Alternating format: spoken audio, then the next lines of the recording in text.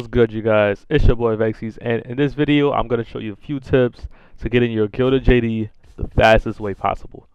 Alright, so to get this started, um, for you guys that are that own Xbox One X, make sure that you go to your visual preferences and put it on performance because this really helps out so you can get 60 frames per second instead of 30. And that just helps the game not look uh, choppy at all and keeps it smooth like how you would play in uh, multiplayer. Alright, so that's just for you guys Xbox One owners, uh, Xbox One X owners, my bad. Um, you might as well just, do that so you can have a good experience with it. But if you don't have Xbox One X, and no worries, you can still follow everything else in the tutorial and it will work out just as smooth for you as well. Alright, so um, to kick this off, make sure you go to a private match so you can be by yourself and you can make sure you have, like hoard every kill. Um, and you want to go to the horde settings and put it on Juvie Madness. Alright, this is basically, you know, Juvies and trackers running around, and it's, it's real, real slight and easy to get that kicked off.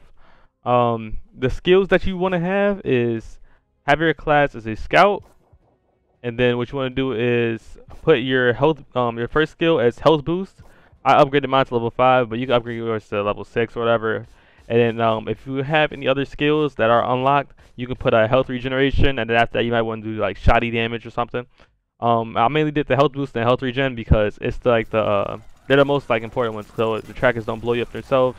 Because uh, sometimes you shoot them on the ground and they give you damage, but when you have the health boost, you barely take any damage because the juvies do like nothing to be honest, unless it's like real stacked up and you get jumped. Um, next thing you want to do is start at wave 21. This helps out a lot because you don't have to deal with boss waves because on the boss waves, um, like a lot of different uh species or whatever, different types of uh, swarm come at you. Alright, and it gets very, very annoying.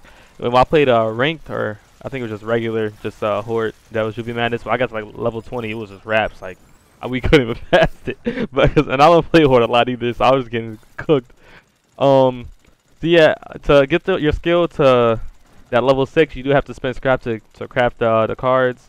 So that, like, that, it doesn't cost that much to be honest. You're probably looking like 400 scrap, 600 scrap, I don't know, some up there, you feel me? But it doesn't doesn't cost that much to be honest. I don't know. It's easy.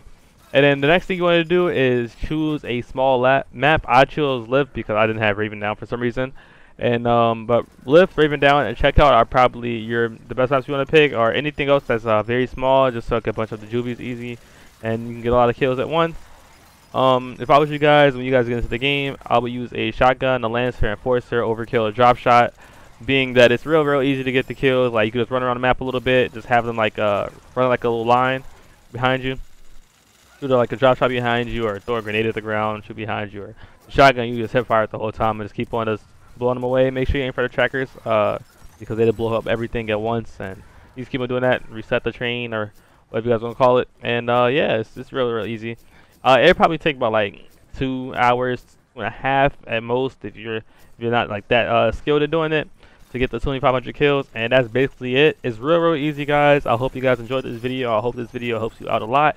And um, comment like and subscribe for your boy man. I appreciate it and i will see you guys all with the Gilded jds in the ranked matches and in gears 5 peace out